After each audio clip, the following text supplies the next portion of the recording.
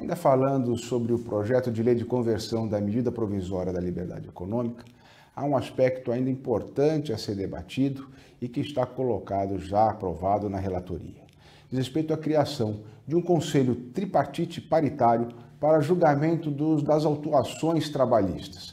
Ou seja, quando o fiscal do trabalho faz uma autuação perante uma empresa, atualmente o julgamento desse recurso é feito por um único fiscal. A proposta agora trazida na medida provisória, no projeto de conversão, é para a criação deste conselho composto de representantes da Secretaria do Trabalho, dos trabalhadores e dos empregadores. Portanto, permitindo uma discussão mais ampla, um maior debate sobre questões técnicas e fáticas nessa atuação. Nos parece interessante justamente por permitir ouvir tanto o lado da Secretaria de Previdência e Trabalho, como também o lado dos trabalhadores e dos empregadores, todos nomeados pelo secretário especial de Previdência do Trabalho e, portanto, escolhido dentre pessoas capacitadas para fazer esse julgamento. Para esse recurso, não será mais necessária antecipação do pagamento da multa. Ou seja, o recurso, a segunda instância trabalhista, poderá analisar o recurso sem que haja antecipação do pagamento e com efeito suspensivo. O devido pagamento será feito apenas ao final do processo administrativo.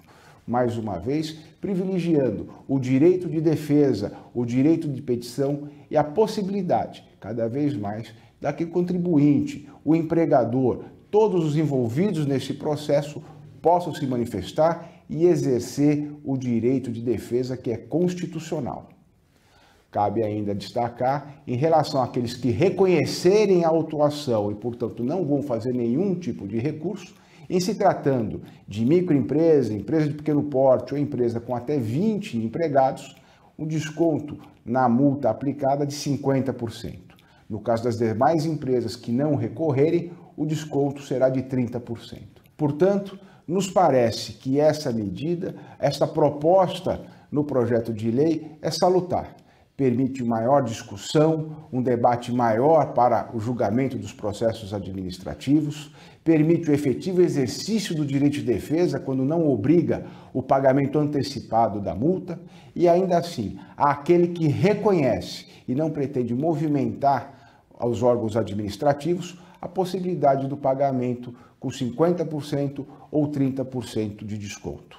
O SIMP acompanha e acompanhará essa medida e todas as demais propostas legislativas, sempre preocupado com a defesa da livre iniciativa, principalmente o estímulo à atividade do microempreendedor, ou melhor, do empresário da micro e da pequena empresa, de forma a ter uma atividade formal, gerando emprego, gerando renda, pagando seus tributos, mas sempre com absoluta segurança jurídica.